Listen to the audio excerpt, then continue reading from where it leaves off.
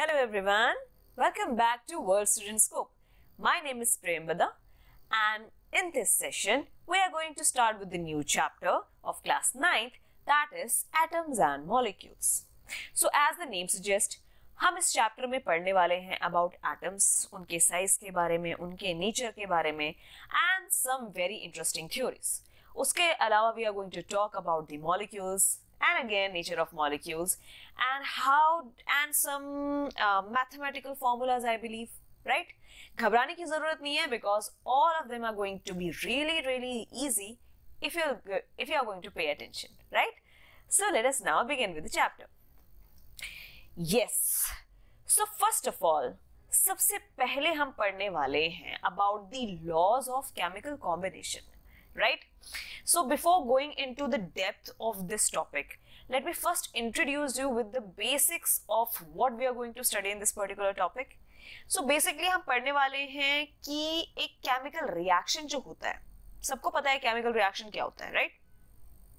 तो हम एक केमिकल रिएक्शन को थोड़ा सा तोड़ मड़ोड़ के उसके बारे में हम थोड़ा सा डिटेल में पढ़ेंगे राइट एंड ऑब्वियसली एक केमिकल रिएक्शन होने के लिए कुछ लॉज हैं right obviously without any rules nothing happens so yes उसी वजह से we are going to study about the first laws of chemical combination right so in a chemical reaction two or more molecules interact to produce new compounds right for example a plus b क्या है ये ये है two or more molecules and they are giving out new product that is c So let us suppose A plus B is equal to C. That is what is chemical combination, right? A plus B ने आपस में chemically combine किया and they are forming a new product that is C. Right? So यही हमारा law भी है laws of chemical combination that is your first topic, right? So जो दो और दो से ज़्यादा products react कर रहे हैं let's suppose A and B. A and B को हमने यहाँ पे बोला है these are reactants. रिएक्टेंट्स जो रिएक्ट करते हैं।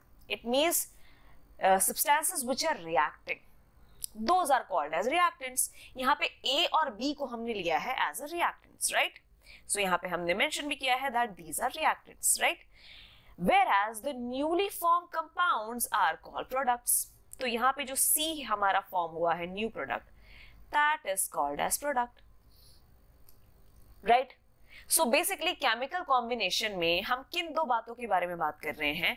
First we are talking about reactants जो रिएक्ट करते हैं। सेकेंड जो उनके रिएक्ट करने की वजह से न्यू कंपाउंड फॉर्म हो रहा है that is product clear so we are talking about reactants and we are talking about products here right now होता क्या है केमिकल रिएक्शन में?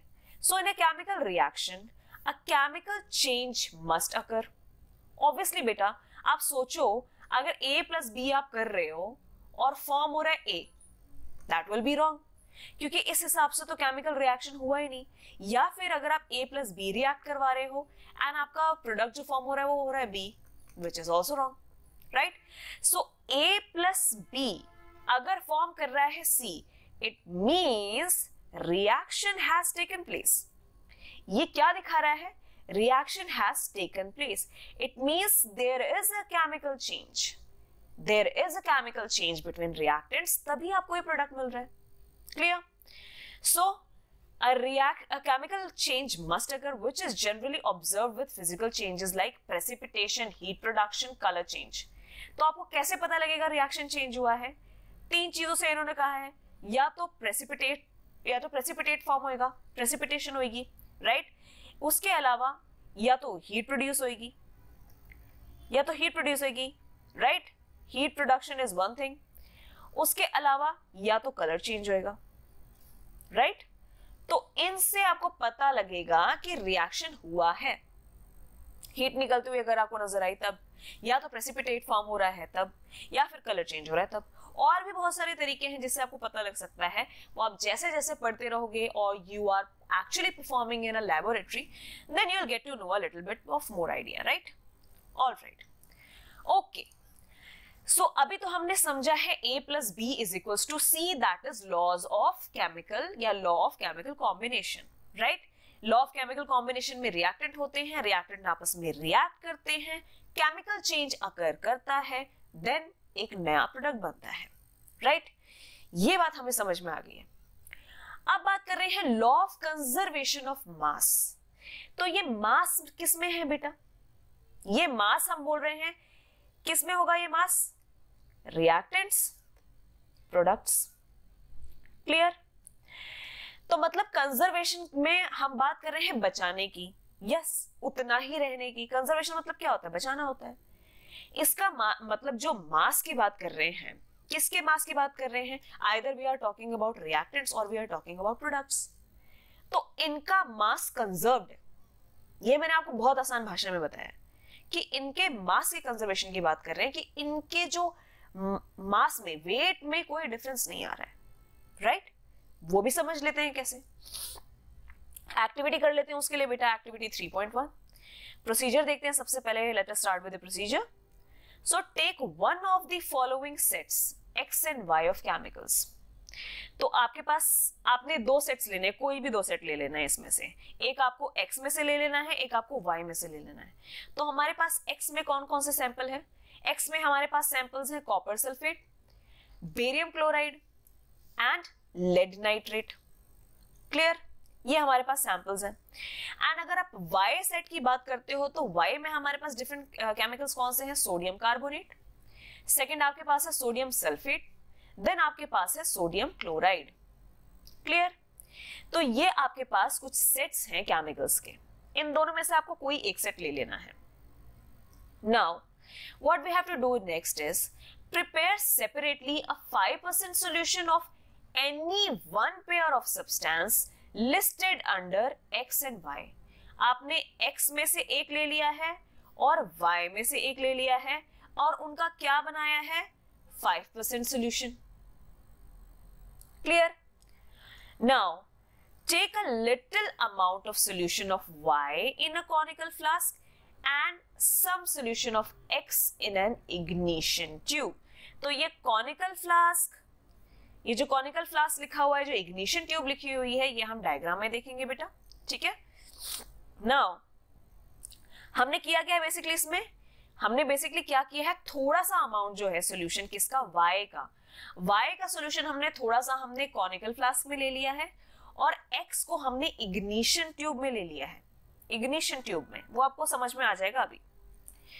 Now hang the ignition tube in the flask carefully तो ignition tube में क्या है x solution flask में क्या है वाई तो आपने जो इग्निशन ट्यूब है, जिसमें एक्स का सोल्यूशन है, उसको आपने हैंग करके रखना है कॉनिकल फ्लास्क में, जिसमें वाई है। ठीक है? See that the solutions do not get mixed ये आपने ध्यान रखना है कि सोल्यूशन मिक्स ना करें। And put a cork on the flask as shown in figure 3.1 right तो एक बार हम देख लेते हैं फिगर, ठीक है, समझ लेते हैं। तो ये कॉनिकल फ्लास्क हो गया। इसमें कौन सा सोल्यूशन है? वाई ये आपके पास स्मॉल इग्निशन ट्यूब आगे जो इसके अंदर आपने रखी है टिल्ट करके रखी है। उसमें कौन सा सोल्यूशन है? एक्स बट यहाँ पे सॉल्यूशंस मिक्स नहीं हो रहे। डू नॉट मिक्स यहाँ सोल्यूशन आपको दिख रहा है, यहाँ पे मिक्स नहीं हो रहे हैं। ठीक है? ये समझ में आ गया? एंड आपने यहाँ पे क्या लगा दिए है? यू हैव पुट अ कॉक ऑन टॉप राइट ये हमने काम किया है अभी तक। Now weigh the flask with its contents carefully अब जो भी सामान है उस फ्लास्क में, वो फ्लास्क है अकेला, उसमें वाई सोल्यूशन है, एक इग्निशन ट्यूब है, उसमें एक्स सोल्यूशन है तो उन सब का आपने वेट करना है, ठीक है? Now tilt and swirl the flask so that the solution X and Y get mixed अभी तक मिक्स नहीं हो रहे थे। अब आपने क्या करना है? उस इग्निशन ट्यूब को उठाना है और उसको पलट देना है वाई वाले कॉनिकल फ्लास्क में और उसको हिला के मिक्स कर देना है। इसका मतलब हमने एक्स एंड वाई को मिक्स कर दिया है। क्लियर वे अगेन दोबारा इसको वेट करो। अभी तक यहाँ पे मिक्स नहीं है। अब नेक्स्ट वाले में आपने मिक्स कर देना है किसको? मिक्स एक्स एंड वाई फिर आपने इसको दोबारा वे करना है। दोबारा इसका वेट देखना है कि वेट क्या है दोबारा। Clear now what happens in the reaction flask कि इसमें क्या होता है? रिएक्शन में क्या होता है? Do you think a chemical reaction has taken place जब आपने एक्स एंड वाई मिक्स कर दिया तो क्या आपको लगता है कि रिएक्शन हुआ है इसमें? Since you are using two chemicals obviously reaction होगा right so why should be put a cork on the mouth of the flask ये कॉर्क हमने क्यों लगाया है फ्लास्क के ऊपर? And does the mass of the flask and its content change तो क्या अगर आपने ये एक्स एंड वाई मिक्स कर दिया तो क्या इनका कंटेंट चेंज हो रहा है? इनके कंटेंट में कोई चेंज है? ये बताओ राइट right? तो after performing this experiment what do we observe so we observe that heating the solution separately or mixed does not change its mass. क्योंकि बेटा समझो ना, x एंड y का वेट वही है। या एक्स वाई का वेट वही है। क्योंकि आपने उतना ही लिया है ना बेटा, जैसे इसको आपने पाँच ग्राम ले लिया, इसको आपने पाँच ग्राम ले लिया तब भी तो ये दोनों मिला के दस ग्राम हुआ। और जबकि एक्स वाई मिक्स कर दिया तो ये सारा ही टेन ग्राम हो गया। तो दोनों ही केसेस में टेन ग्राम है ना बेटा? चाहे एक्स एंड वाई अलग हो, चाहे एक्स एंड वाई साथ में हो। तो इसका मतलब क्या हुआ कि जब तक ये रिएक्टेंट्स थे, जब तक ये रिएक्टेंट्स थे, तभी इनका मास वही था। जब ये प्रोडक्ट बन गया, तभी भी इसका मास वही है। Clear now mixing the solution results in chemical reaction but the mass of the flask remains the same x plus y is equal to X Y अगर तो ये पाँच ग्राम है और ये भी पाँच ग्राम है तो ये मिला के दस ग्राम हो गया। तो मास कहाँ चेंज हुआ? ये भी मास वही है, टेन ग्राम ही है ये भी। तो mass is same, mass is same in both reactants reactants and product. वही चीज़ उन्होंने हमें रिएक्शन में भी बताई है। कि आपने कॉनिकल फ्लास्क लिया? पहले आपने ये कोशिश की कि एक्स एंड वाई मिक्स ना हो। जब आपने जब आपने उसको वेट कर लिया, उसका जो भी वेट आया, फिर आपने उसको मिक्स कर दिया दोबारा। फिर आपने देखा वेट तो वही है। इसका मतलब केमिकल रिएक्शन होने पे मास तो चेंज नहीं हो रहा। मास इज़ सेम क्लियर तो what is its possible explanation क्या है? एक बार देख लेते हैं explanation mass of some of the reactants and products during a chemical reaction remain constant. Constant रहता है। मास चाहे आप रिएक्टेंट्स को मेजर कर लो, चाहे आप प्रोडक्ट्स को मेजर कर लो mass will remain same for example if we react 23 grams of sodium अगर आप 23 ग्राम्स ऑफ़ सोडियम मिला रहे हो एंड 35.5 ग्राम्स ऑफ़ क्लोरीन मिला रहे हो 23 and gram correspond to the molecular weight इनका वेट है। 23 ग्राम्स आपका सोडियम का है एंड 35.5 ग्राम्स आपका क्लोरीन का मॉलिकुलर वेट है। So, the resultant sodium chloride will always be 58.5 grams. इसका मतलब क्या? सोडियम 23 था, ठीक है? प्लस क्लोरीन क्या था? 35.5 मॉलिकुलर वेट है। तो जो प्रोडक्ट फॉर्म हुआ है आपका NaCl वो हमेशा 58.5 ग्राम्स रहेगा, जो इन दोनों का एडिशन है। ये भी तो वही है ना बेटा 58.5 ही हुआ ये। 58.5 ग्राम्स बस ये क्या है? ये रिएक्टेंट्स हैं। ये रिएक्टेंट्स हैं। एंड ये आपका प्रोडक्ट है। तो यहाँ पे आपको दिख गया ना law of conservation law of conservation of mass यहाँ पे आपका मास कंजर्व हो गया। मास क्या हो गया? कंजर्व हो गया। रिएक्टेंट्स में भी वही है प्रोडक्ट्स में भी वही है। Clear here when we heat the mixture separately no reaction takes place since the flask is close by the Kock the vapours of water molecules do not escape क्योंकि बेटा वाटर मॉलिक्यूल्स का भी तो कोई वेट जब पहले water molecules थे उसमें फ्लास्क में तो उनका भी तो हम वेट काउंट कर रहे थे। अगर बाय चांस आप फ्लास्क खोल दोगे तो हवा उड़ जाएगी वाटर मॉलिक्यूल वेपर उड़ जाएँगे। तो इस वजह से हम जो कॉनिकल फ्लास्क है, उसका माउथ जो है, वो कॉर्क से क्लोज रखते हैं सो दैट वाटर वेपर बाहर ना उड़े। ठीक है? एंड वाटर मॉलिक्यूल इस वजह से बाहर नहीं जाता और कंडेंस बैक कर जाता है बॉटम पे। वापस कंडेंस होकर आ जाता है। As a result we see no change in mass clear इसी वजह से ही आपको मास में चेंज नहीं आता। ये सारे ऑब्जर्वेशन आप नोट डाउन कर लेंगे बेटा अपने नोटबुक्स में। क्लियर तो हमने ये समझ लिया कि रिएक्टेंट्स और प्रोडक्ट्स में मास का चेंज नहीं होता ऑल दो केमिकल रिएक्शन होता है। लेकिन मास चेंज नहीं होता। द रीजन बिंग हम उसका फ्लास्क uh, का हम लोग माउथ क्लोज करके रखते हैं। सो दैट वाटर मॉलिक्यूल्स बाहर ना जाए कंडेंस होके वहीं आ जाए वापस एंड मास में कोई चेंज ना आए। Clear so when we swirl the conical flask the mixture from the ignition tube comes out and mixes with the solution. In the flask, it results in the chemical reaction given below. इसका मतलब ये है जब आपने swirl किया flask तो जो ignition tube में जो भी था आपका इग्निशन ट्यूब में क्या है एक्स है? कॉनिकल फ्लास्क में वाई है। तो एक्स एंड वाई आपस में मिक्स हो गए। तो क्या केमिकल रिएक्शन बनता है? क्या केमिकल रिएक्शन हुआ? जो हमारे पास एक्स के पर्टिकुलर केमिकल कंपाउंड्स थे एंड वाई के आपके पास केमिकल कंपाउंड्स थे। एक्स में थे और दूसरा आपके पास थे वाई में। क्लियर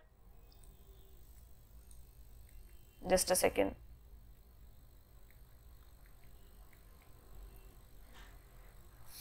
एक सेकेंड। यस तो एक्स में आपके जितने केमिकल्स थे, फिर आपके पास वाई में जितने केमिकल्स थे, ठीक है? आपने कोई भी इनमें से एक पेयर लिया था राइट एंड वो आपने एक्स एंड वाई ट्यूब में रखा था। तो उन सैंपल्स की बात करते हैं जो एक्स एंड वाई में थे तो क्या केमिकल रिएक्शन हुआ जब एक्स एंड वाई मिक्स हुए?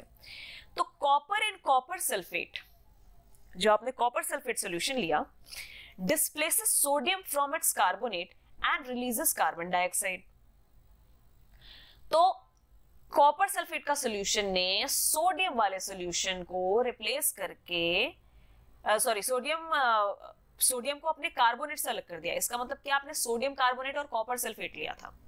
तो कॉपर सल्फेट में जो कॉपर है, उसने सोडियम को डिस्प्लेस कर दिया और क्या बाहर निकाल दिया? Carbon dioxide there is a change in the colour the blue solution of copper sulphate change to green तो पहले कॉपर सल्फेट का सोल्यूशन क्या था? ब्लू था। वो आफ्टर रिएक्शन आफ्टर रिएक्शन क्या हो गया? ग्रीन हो गया। समझ में आया सभी को? जबकि यहाँ पे मास जो है वो सेम है।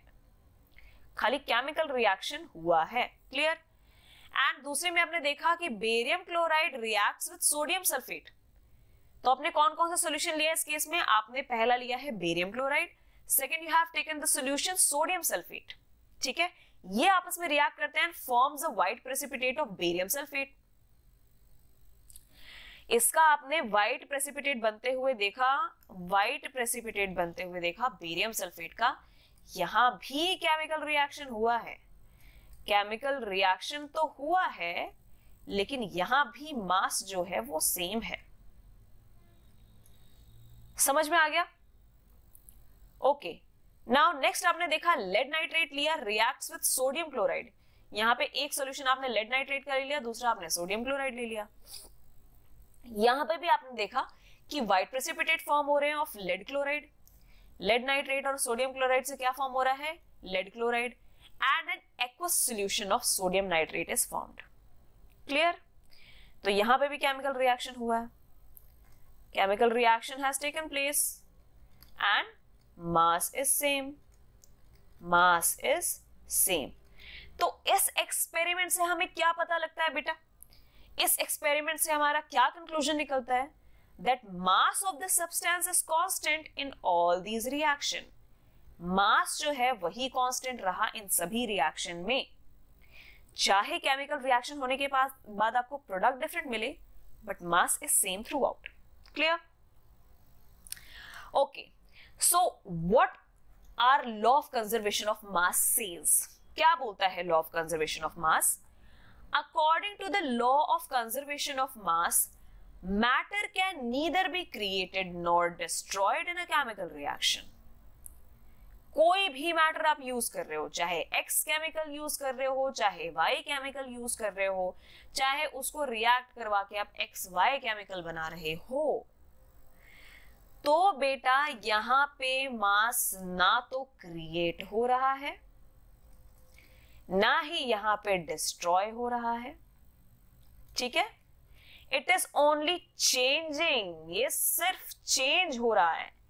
एक फॉर्म से दूसरे फॉर्म में चेंज हो रहा है, ना तो ये क्रिएट हो रहा है, बन रहा है, ना बिगड़ रहा है।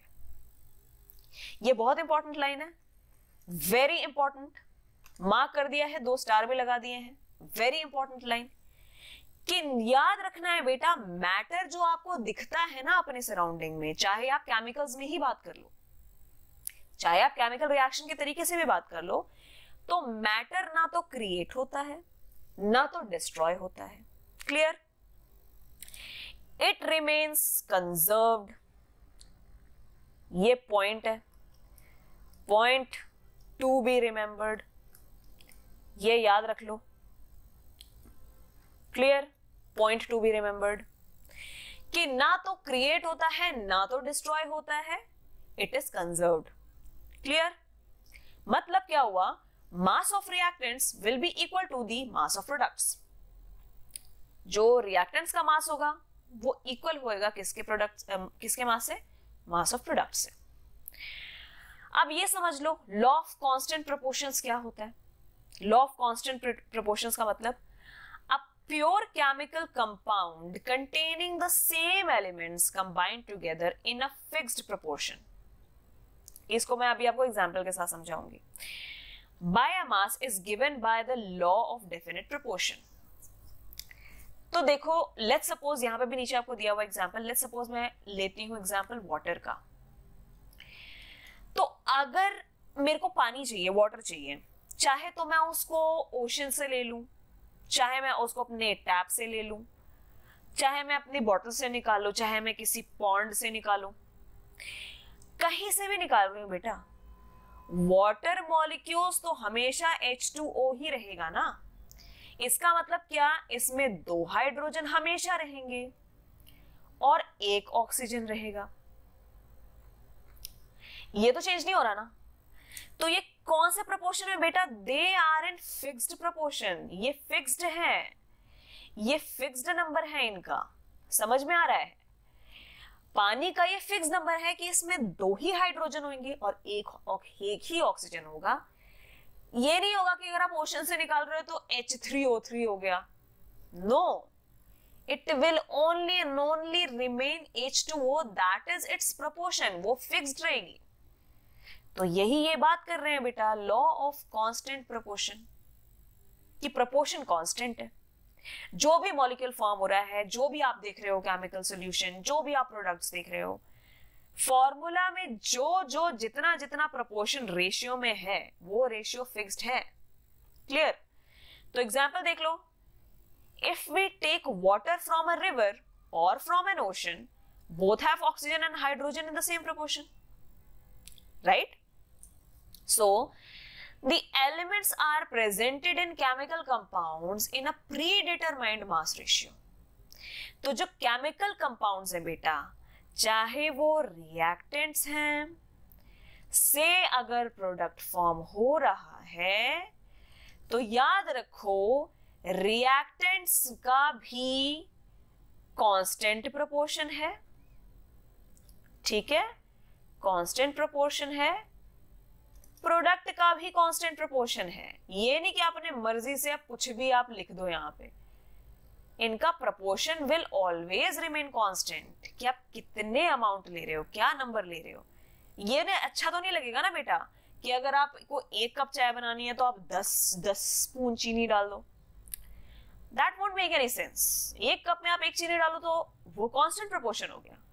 है ना? अपने मन का तो नहीं कर सकते ना। एक कप चाय के लिए आप पंद्रह स्पून आप भरे जा रहे हो उसमें what is called as sugar sugar ही आप डाले जा रहे हो उसमें 15 spoon it won't make any sense right so this thing happens with this only कि अगर आपका रिएक्टेंट लेट्स सपोज़ आपका चाय है है ना? सॉरी लेट्स सपोज़ आपका रिएक्टेंट uh, वो है चाय और uh, चीनी है और प्रोडक्ट आपका चाय है।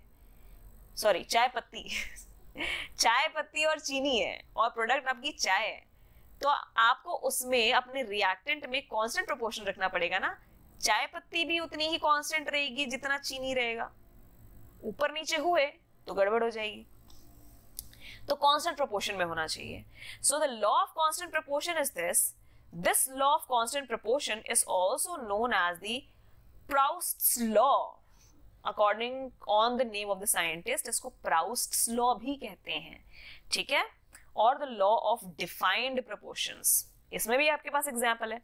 For instance the oxygen and hydrogen content in pure water is always one ratio one H2O का रेशियो हमेशा वन रेशियो एट ही रहेगा। वन रेशियो एट ही रहेगा, ये कांस्टेंट प्रोपोर्शन है। ये वन सिक्स नहीं हो सकता वन रेशियो टेन नहीं हो सकता तो आपका पानी फॉर्म नहीं होगा। वन रेशियो एट में ही आपका पानी फॉर्म होगा। यही मतलब है कॉन्स्टेंट प्रपोर्शन का, कि जो आप प्रपोर्शन लेते हो रिएक्टेंट्स में और फिर जो आपका प्रोडक्ट फॉर्म होता है, वो कॉन्स्टेंट रहता है। Clear so yes this was about the law of conservation of mass law of chemical combination and law of constant proportions right इसके आगे जो है about atoms and Dalton atomic theory and molecules that we are going to cover in the next lecture Till then, keep studying, keep spreading knowledge and keep educating others also. So uh, till then, I'll see you in the next chapter. Bye. Thank you.